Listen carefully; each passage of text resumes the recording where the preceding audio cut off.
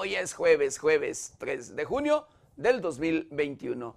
Tres días de este ya, el sexto mes, mitad del año, ya la mitad de este, de este, el año 2021. Un año que de verdad ha sido, híjole, como, como si fuera en este, tan solo en estos cinco meses que ya terminaron, pareciera como si hubieran pasado ya dos, tres años por lo difícil del crítico en todos los sentidos. La situación de verdad ha sido, ha sido preocupante, ha sido de mucha, mucha violencia, de mucha inseguridad, de mucho tema en, estos, en esos sentidos. Mucho estrés, por supuesto, en todos, en muchos de los habitantes de las diferentes regiones, de los diferentes municipios de nuestro país. Así como usted lo escucha, usted lo sabe, usted lo vive y de verdad así como se viven las cosas, pareciera como si se hubiera vivido eh, al doble. Y de verdad, por así como, como están las cosas en todos los sentidos. Pero bueno, este año, este año ha sido uno de los años difíciles y más y más difíciles eh, que pues ha comenzado desde su primer minuto desde el primer minuto de este 2021 ya venía con, ya venía marcado, ya venía, pues, eh, estaba el pronóstico de que iba a ser un año inseguro, un año difícil, un año complicado. Triste y lamentablemente todo, todo desde mi muy personal punto de vista y como siempre lo he dicho, por el tema de corrupción. Porque el tema de corrupción no paga. El tema de corrupción no se combate, porque el tema de corrupción es el, valga, lo que les da a ganar a muchísimos políticos, lo que ha enriquecido a muchísimos, pero muchísimos políticos de los diferentes colores, de los diferentes partidos, de las diferentes ideologías, no les importa en lo absoluto eh, el tema de los principios, el tema de los valores, el tema de la educación, de la honradez, de la honestidad, en lo absoluto.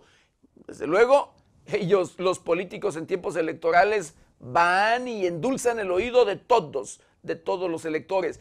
En tiempos electorales van y desde luego le venden una propuesta de maravilla en todos los sentidos.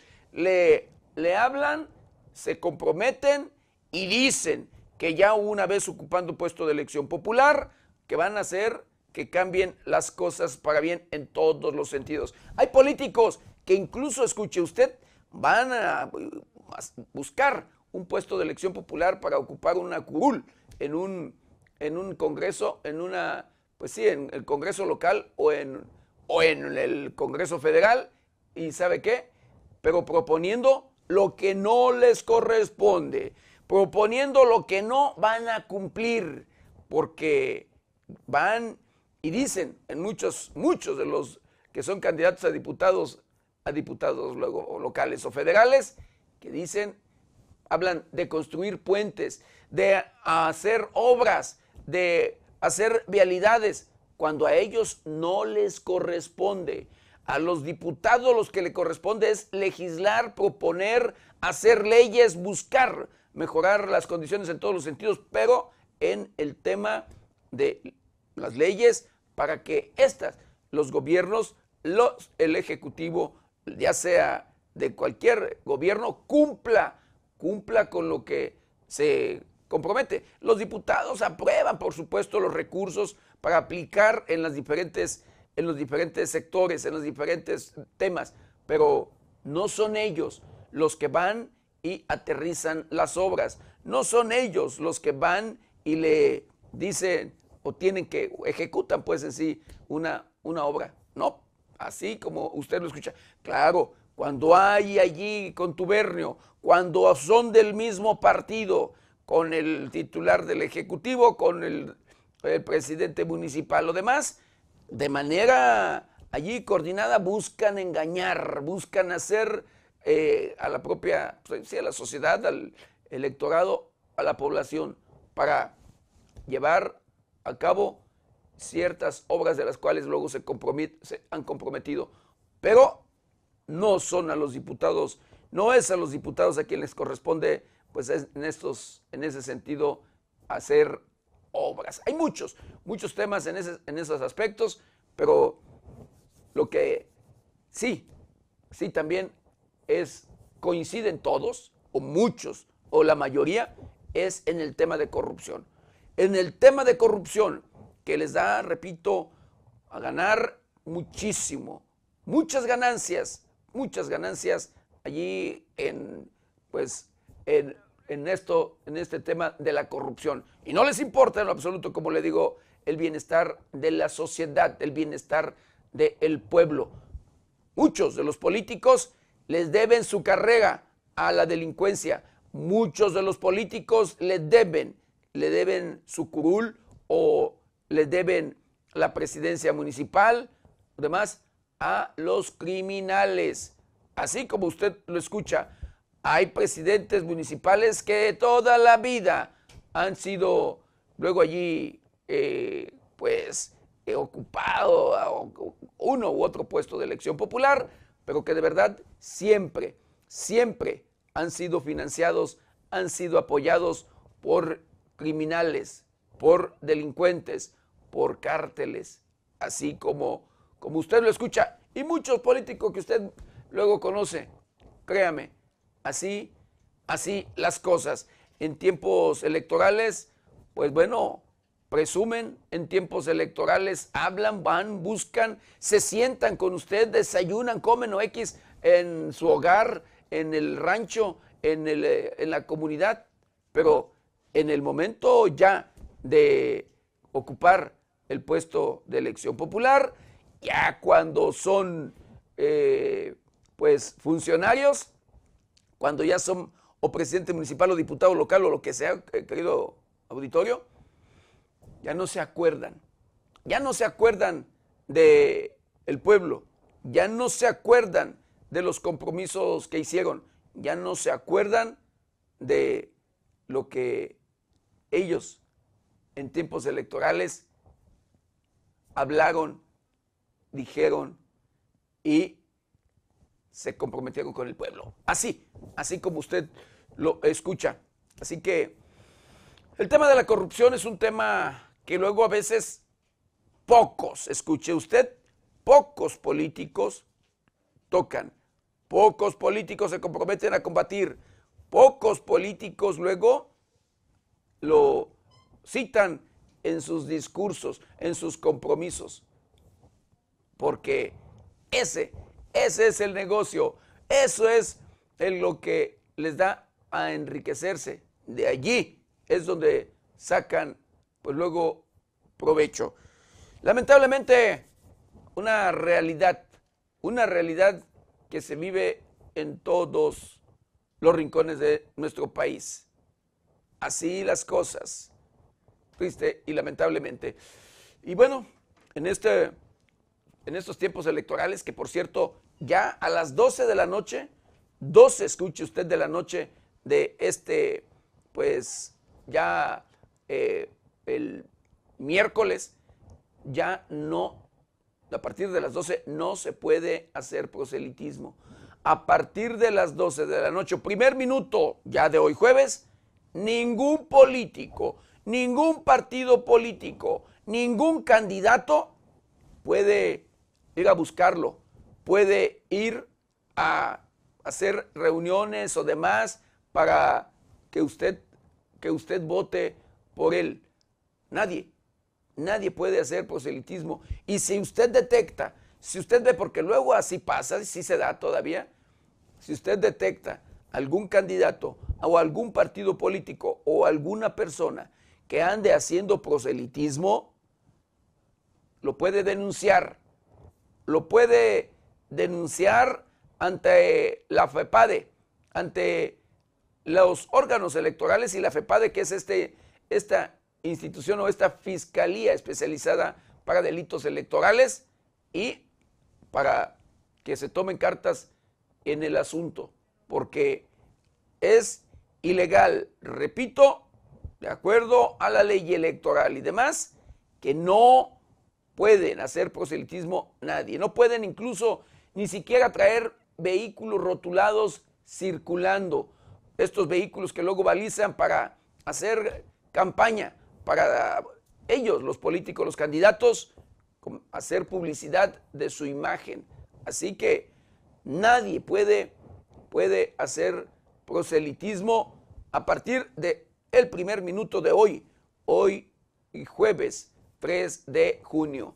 Ya le quedan prácticamente 72 horas, 72 horas para llegar al día decisivo, a el día que usted, usted querido Vittorio, va a poder elegir, va a poder elegir a sus candidatos, va a poder elegir a aquellos que quieren que los represente en los diferentes puestos de elección popular. El voto, recuerde, es libre y secreto. El voto, recuerde, sí, nadie tiene que estar con usted y puede votar por quien usted quiera, por quien usted piense que es el mejor candidato, por quien, quien a usted le haya pues convencido en todos los sentidos. Así, en las urnas, las urnas usted va a llegar y votar. Y recuerde que de acuerdo con estas medidas sanitarias por el tema de salud de esta pandemia, usted podrá llevar su propia pluma, su propio lapicero para votar. Recuerde llevar una pluma que no sea de esas eh, de gel o demás, que luego se manchan, que no seca rápido la tinta, porque si su boleta se mancha al tiempo de doblarla en otras partes, esa boleta no va a contar como voto válido. Esa boleta va a ser eliminada. No será, no será válido su voto. Así que tenga cuidado. Pero usted puede llevar su lapicero. Usted puede llevar un lapicero para que pueda votar de manera, de manera segura. Así que, y recuerde, nadie, nadie puede llegar y decirle o aconsejarle por quién tiene que votar. Nadie le puede negar el derecho, este derecho de votar, así esté enfermo de COVID. Escuche usted. Si usted está contagiado de COVID y quiere votar, y ha tomado la decisión de ir a hacer uso de ese derecho, puede hacerlo, tomando las medidas, las medidas necesarias. El cubrebocas, usar cubrebocas, pero aquellos que están eh, contagiados de por sí es es eh, recomendable usar doble cubrebocas, pues si está contagiado es obligatorio, obligatorio traer dos cubrebocas. De ser posible, hay que traer, hecho por responsabilidad y demás, careta eh, y si puede, guantes. Pero bueno, y de ser posible, hay que avisar, hay que decir a las autoridades del propio, de la propia casilla para que saniticen. Saniticen el lugar después de que usted emitió su voto, después de que usted ya, ya eligió a quien quiere que lo represente en los diferentes, en los diferentes puestos de elección popular. Recuerde que son cuatro boletas, una para presidente municipal, otra para diputado local, una más para diputado federal y por supuesto, en aquellos estados en 15 estados de la República se va a elegir gobernador. Esa es la cuarta boleta por la que tiene que votar para gobernador. Así que haga un voto consciente. Si antes, si en estos días le ofrecieron, le dieron, le dieron dinero, le dieron despensa, le dieron lo que usted quiera, que usted recibió, que, con el cual se comprometió, usted puede votar por quien quiera. Usted no está obligado, se comprometió, pero no está obligado a votar por quien le condujeron, por quien lo aleccionaron, por quien le pidieron votara. Si no es de su gusto y elección, no puede usted hacerlo no lo van a ver. Le piden luego eh, que tomen fotografía.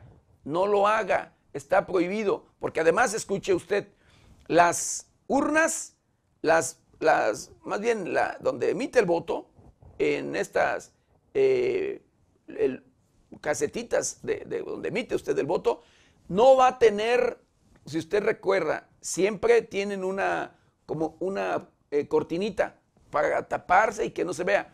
En esta ocasión no va a haber esa cortinita. La, la, esta casetita va a estar libre en ese sentido para evitar eh, que se contagie y que se esté ventilando. Así que no va a haber que lo tape. No se puede tomar fotos eh, porque, pues más que nada porque le van a, se presta a que sea un voto vendido, sea un voto comprometido y evite allí pues temas de que pudiera haber algún detalle, algún conflicto. No tome, no haga caso de que les envíe el voto a través de una fotografía a quien se lo ha pedido. El voto es libre y secreto. El voto usted lo emite en allí en las, las urnas y nadie va a ver por quién por quién votó. Y el tema de inseguridad continúa, continúa en este tiempo electoral, en este proceso electoral, el proceso más violento o uno de los más violentos en la historia de nuestro país. Son o van hasta ahorita aproximadamente 785. Iban 782 ataques o agresiones. Todavía hasta el día de ayer, si no recuerdo en los primeros minutos. Pero el día de ayer todavía se registraron por allí algunas agresiones en contra de candidatos, de algunos candidatos de nuestro país. Ya, ya van, si no me equivoco, más, no, no, no 785, más de 785 agresiones o ataques en contra de candidatos. Muchos, muchos candidatos que desde luego por el tema de inseguridad, por sus amenazas, por los atentados, han tenido que solicitar seguridad. Cuentan con la seguridad por parte de la Secretaría de Seguridad Pública de los diferentes estados de la República, otros por allí, desde luego por la propia Fiscalía General de Justicia. Pero la encargada de garantizar el tema de seguridad es la Secretaría o las Secretarías de Seguridad Pública de cada una, de cada una de las entidades de nuestro país. Son decenas, diría yo, centenas de candidatos que, que cuentan con seguridad, que les han proporcionado escoltas por el personal de la Secretaría de Seguridad Pública para garantizar su integridad, para garantizar pues este, este proceso electoral en paz, en favor, por supuesto, de el candidato amenazado o por quien atentaron. Además, han obligado, incluso escuche usted, han obligado a varios, a varios políticos a declinar de manera forzada, por supuesto, con amenazas, incluso de que si no renuncian, de que si no declinan, serán asesinados, así como usted, como usted lo escucha, o secuestrada a su familia, o cualquier amenaza por parte de los grupos criminales. Muchos políticos que luego han sido, han sido de el color X, los obligan, escuche usted, en contra de su propia ideología, a hacer proselitismo, y así lo han hecho, así lo están haciendo, de su propio partido. Así, a favor de el enemigo, hablando políticamente, hablando ya en estos tiempos electorales. Así las cosas en, esta, en este proceso electoral, donde los gobiernos, muchos gobiernos actuales, por supuesto, aliados, de aliados de los grupos criminales, han intimidado al resto de políticos y han encaminado este tema electoral para favorecerlos en este próximo, este próximo 6 de junio, en, en estas elecciones, las más importantes o una de las más importantes de nuestro país. Porque en estas elecciones, por primera vez, se escuche usted, se han empatado, se han empatado ya en todo el país las elecciones tanto federales como locales. Recuerde que luego había elecciones en una fecha X, las locales, y luego las federales en la diferente fecha. En esta elección, ya por primera vez en todo nuestro país, todas las, elecciones serán en la misma fecha. Coincidirán tanto las locales como las federales. Ya no habrá más, más gastos de diferente forma en diferentes fechas en este sentido del tema de elecciones locales y federales. Primera vez, ya empatados en todo el país, las elecciones federales y locales. Y en esta elección del 2021 son más de 20 mil, escuche usted, más de 20 mil puestos de elección popular que están en juego. Más de 20 mil puestos de elección popular que participan el día de hoy. Más de 20 mil candidatos que aspiran a ocupar un puesto de elección popular, ya sea presidente municipal, ya sea regidor u otras, otras eh, por ahí eh, temas municipales, diputados locales, diputados federales y por supuesto los 15 gobernadores en, pues, en nuestro país. Más de 20 mil los, pues, los puestos de elección popular, presidentes municipales, más de 2 mil, más de 2 mil los presidentes municipales. Y así, el tema electoral, un tema electoral, un proceso electoral de este, el 2021, violento, sangriento, que le repito, han sido asesinados decenas y decenas de candidatos y casi 800 en total, de los cuales han sido violentados, han sido atentados o amenazados. Pero bueno, en usted está la decisión este próximo domingo para elegir a quien usted quiera. A quien usted quiera, querido, querido auditorio. El dejar de votar es no cumplir con nuestra responsabilidad y derecho constitucional u obligación para elegir a nuestros propios representantes en los diferentes puestos de elección popular. Y bueno, vamos a hacer